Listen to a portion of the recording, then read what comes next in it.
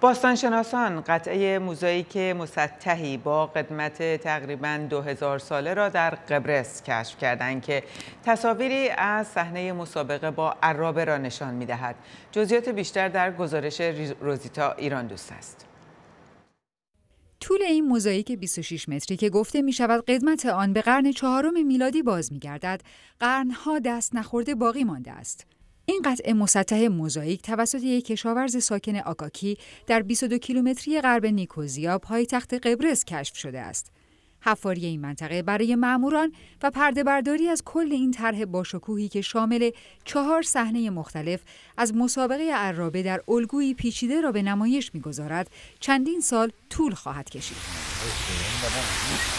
حفاری این منطقه برای معموران و پرده برداری از کل این طرح باشکوهی که شامل چهار صحنه مختلف از مسابقات عرابه در الگوی پیچیده را به نمایش می‌گذارد چندین سال طول خواهد کشید. Well, uh, this is quite rare uh, as uh, the این اثر که در آکاکی کشف شده و صحنه های سیرک رو نشون میده تقریبا نادره چون معمولا روی موزاییک تصویر نمیشه. ما اسبها و شرکت کننده های توی مسابقه رو جدا جدا داشتیم و خیلی کم پیش میاد که خود مسابقه رو به این شکل یک جا داشته باشیم.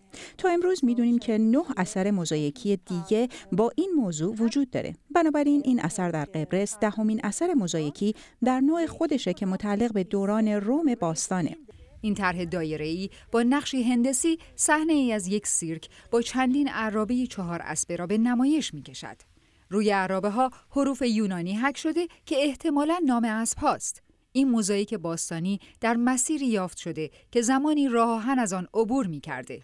این منطقه پیشتر به دلیل کیفیت بالای سبزیجات و سیب زمینی شهرت داشت تا اکتشافات باستان شناسی. زمانی که در سال 1951 خط راهن برچیده شد زمین پایه مانند یک لایه محافظ برای این اثر باستانی باقی ماند We might assume that this is the villa of which گمان می‌کنم که این خونه ییلاقی به یکی از اهالی ثروتمند تعلق داشته باشه. البته امکان داره با ادامه حفاری به عناصر باستانشناسی و اطلاعات بیشتری دست پیدا کنیم.